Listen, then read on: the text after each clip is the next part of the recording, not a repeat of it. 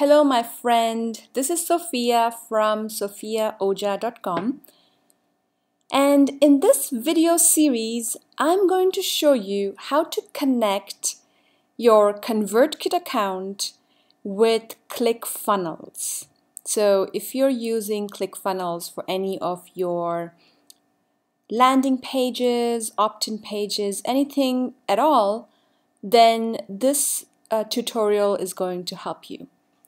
So just to give you an overview, we will be connecting ConvertKit with ClickFunnels in four steps. First, you will prepare your ConvertKit account. And I'll show you what steps are involved in that. Then, step two, you will prepare your ClickFunnels account.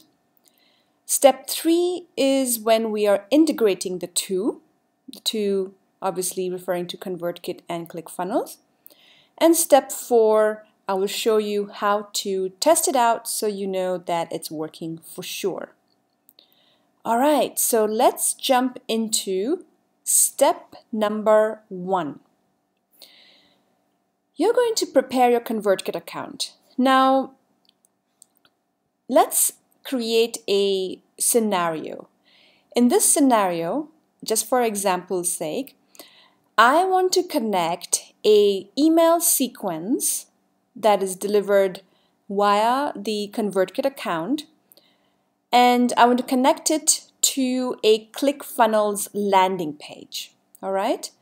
So my goal is to, to have a series of emails being sent out to my subscribers. It's a free email course that is sent out to my subscribers um, once they opt in on the ClickFunnels page. So what are the steps needed for that? First, you're going to create and set up your tag and your sequence. So let me jump into my ConvertKit account and show you how to set that all up. So we'll first create the form. Now, before I go into that, let me just answer a concern. You may wonder, hey Sophia, why do I need a form in ConvertKit? That's what, that's what I have ClickFunnels for. That's where the opt-in is going to be. Well, think of it this way. ConvertKit needs to collect those names and emails through certain mechanism and that mechanism is a form all right so this form that you're creating on ConvertKit is not going to be seen anywhere so it doesn't really matter what style you choose but you do need it because that is how ClickFunnels will tell ConvertKit um, where to put these folks and you'll see why as you go through the remaining uh, videos how that fits in okay so you, you will uh, follow the, the logic behind this in no time. All right, so I'm going to name this form, and this is very important because the forms get too numerous and then we get lost in a sea of forms. So I like to name my forms so that two weeks later, when I'm not in the flow of, of what I did here, I'm able to identify it easily. So I'm actually going to call it very straightforward um, form to collect ClickFunnels um, subscribers. And the goal of course is my free email course. Okay? And if you have several email courses you can specify it further. And this way you're really helping yourself down the road. Okay everything looks good here. Um, these things really don't matter because everything is going to happen on ClickFunnels. Um, what is important though is tab 2, incentive email. And I am using double opt-in and that's recommended. Uh, you can go for single opt-in, but if you follow the double opt-in recommendation, then this is where um, you need to put in a thank you page URL. So basically, uh, people will get this confirm your subscription email. And once they click on the confirm, uh, ideally you want to send folks to a customized thank you page. And I've created something like that on my Squarespace site. And it's uh, it just says, thank you, you're all set to receive the free email course. And I'll just grab the URL for that, jump back into ConvertKit and place it over here. Okay, so this is important. Uh, this is a thank you page that folks get once they confirm their subscription. So that's the final step of the process. And I will say save form. Now, as I mentioned earlier, I want to deliver a free email course.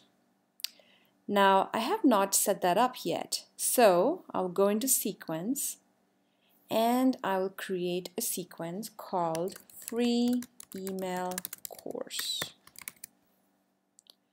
And I'm going to create it. Of course, I'm not going to build it all out here. I'm just going to write here test and welcome email. So this will be useful when I'm testing. So, and I'm going to say zero so that it's delivered immediately. The first email is delivered immediately after somebody confirms. I'm going to say save all. And there are a lot of other details about how to set up a sequence, but that's for another video. Let's just say you set up your sequence and it's called free email course. I jump back into my form that I created. So here is the form, form to collect ClickFunnels subscribers for the free email course. And that title is not going to be seen by anyone, so that's fine. I'm going to go into settings and over here under the main settings tab, the first one, I'm going to say connect them to the free email course and make the sequence mandatory for all new subscribers. And you would want to uh, check that and, and make it activated. What this means is as soon as somebody uh, confirms over here, they are going to be subscribed to the free email course and start receiving the contents of that sequence. And save form. Good. Now you also want to create the tag. Every form needs a tag in my world, the way I do things in ConvertKit. This way, everything is accounted for. So here I'm going to say um, free email course and I like to write where they came from and I also like to write that this is an opt-in free email course via ClickFunnels. Save. And I should see that tag here, opt-in free email email course via ClickFunnels. ClickFunnels. okay, so that's not all. There is another thing we need to do to prepare our, our site on ConvertKit, and that is to set a trigger what we're doing here is we're saying as soon as somebody comes in through that form that we just set up, which is the form to collect subscribers for the free email from ClickFunnels, as soon as somebody comes in through that form, I want those folks to get a tag that says that they opted in from ClickFunnels, okay? And that they are receiving the free email course. So these are important pieces of information that you can put in the tag. Now, tags are a way to identify behavior of your subscribers. So this is very helpful when you want to directly and targetedly talk to specific group of people inside of your ConvertKit account. All right, so the form is connected to the tag and already in the form settings, we connected this form to the sequence. You can also do it here if you, if you prefer uh, and not do it on the form level. It's really up to you. But uh, I like to keep it all uh, under forms so that it's, it's, it's clear. So both options work. It's really about preference and save rule. So my automation should be here, form to collect uh, ClickFunnels subscribers for the free email course, and that's they, they get this tag. Okay, so let's check. Did we prepare our ConvertKit account? We set up the tag and sequence, and we created the form, and we set up the automation that connects the form to the tag and the sequence.